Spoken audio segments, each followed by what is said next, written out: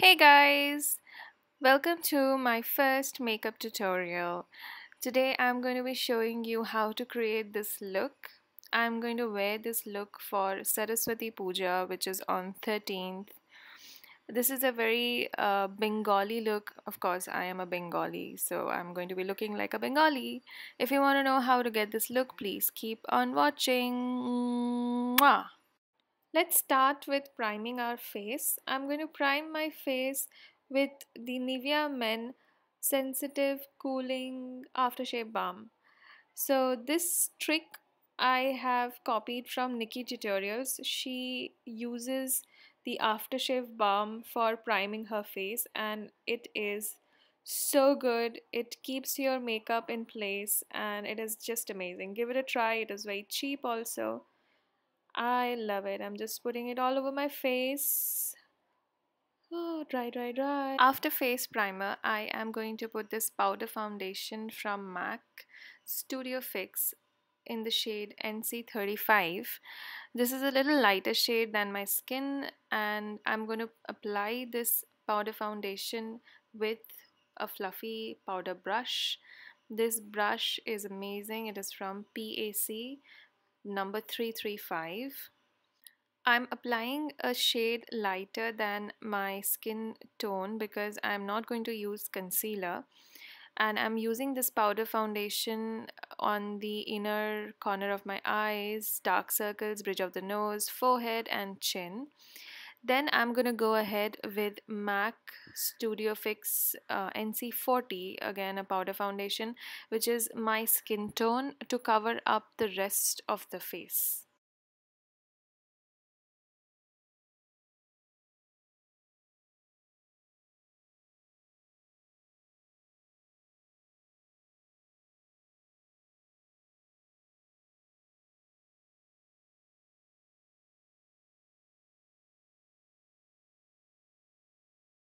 For the eyes, I'm going to zoom in my camera near to my eyes. Then I'm going to put a base on my eyelid using this MAC Quad eyeshadow. It's the shade Lithe Spirit. I'm going to apply it with MAC 224 brush. It's a fluffy brush. I'm going to be applying it all over my eyelid and uh, till the brow bone. It's going to give me a very good base. Next, I am going to go ahead with this brown shade from MAC. It's called Corduroy. I'm using the same 224 brush to apply it on the crease. I am first putting the color on the outer corner of my eyes and blending it inwards on the crease. The next color I am going to put on the lid is Coppering from MAC again. I'm going to be using a Colorbar uh, crease brush.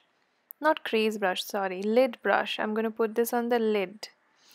So I'm going to take the color on the brush and just going to dab it on all over my lid. And make sure to blend it properly so that you don't have any harsh lines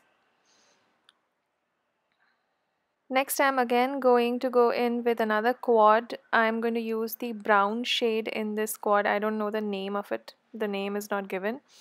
Now I'm going to use a Zoeva crease brush and again packing this is a deeper brown color than the brown we used earlier so I'm packing the color outer corner on the outer corner and slowly pushing it inside now I'm going to go in with MAC 224 brush again. It's a completely clean brush and just blending everything. Then again with the same quad I'm going to take that black shade. It's not completely black. It's a little lighter than black and going in with the pencil brush I am going to dab the color right at the outer corner so that I get that smoky eye, cat eye look just at the outer corner and not too much. Now I'm just blending that color in with the other browns that I had used. It's time to line our waterline, upper waterline. I'm using MAC gel liner and a very small liner brush. This is again from uh, Zoeva. And I am just lining my upper waterline. This step is very easy and very self-descriptive. For lower waterline, I'm using Colorbar Kajal in black and I'm just going to line the lower waterline and then I'm going to go ahead with a smudger, small smudger brush with the black um, eyeshadow that we used earlier and I'm going to smudge the line because Bengalis love to put kajal and the kajal has to be thick. It can't be thin. And then I'm going to go ahead and uh, use a mascara from Bobbi Brown. I love this mascara. The name is, I think, Smoky Eyes Mascara. It gives, it naturally curves the eyelashes. Then I'm putting some falsies. I mean, this everybody knows how to put falsies. The falsies are from PAC. Amazing quality at very cheap. I just got it for 150 rupees and they are absolutely brilliant. And the glue I have used is from Miss Claire. Ta-da! Now I'm just using the mascara in my lower waterline to open up my eyes even more. After using the mascara in my lower waterline, I am going to do the other eye off camera and I will be back. So I'm back with the same quad. I'm using the lightest shade to highlight my eyebrow or brow bone. So I'm going to use that just on the brow bone to highlight it. Next I'm going to use the same color in the inner corner of my eyes to highlight the inner corners.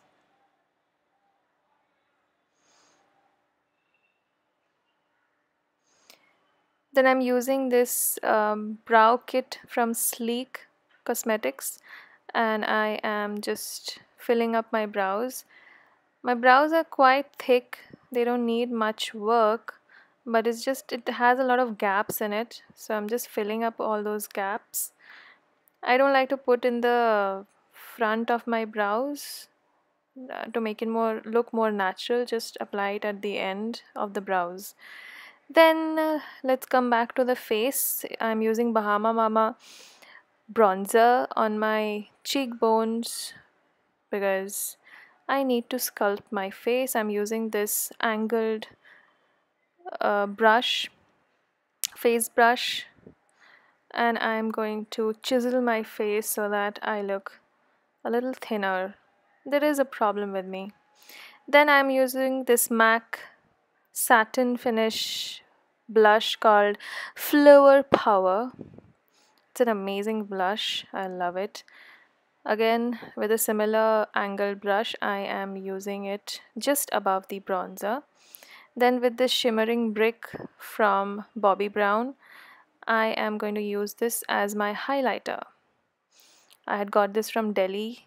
Uh, I love it so much and I'm using a MAC brush to put it on top of the blush. You know the drill. First comes the bronzer, then your blush, and then your highlighter. I'm also adding it to the highest points of my face. Then I am going to do the other side of my face off camera and I'll be back. Last step is your lips. I'm going to line my lips with this cherry lips lip liner and fill it up with NYX lip cream. Both of them are reddish shade, um, not reddish, they're like really bright red shade. I love to wear red shade because I'm going to be wearing a red bindi, so that's going to match with my bindi. Also with my outfit. Now I'm adding, after putting the lip liner all over my lips, I'm adding the NYX lip cream all over it so that it doesn't dry my lips that much. A kiss for you. Now I am going to add the last touch that is bindi to my forehead and I love putting red bindi. And there you go. This is the finished look. I hope you liked this tutorial. This was my first tutorial. I might have made a lot of mistakes please forgive me but please subscribe like this video comment if you want a few more tutorials. Thanks for watching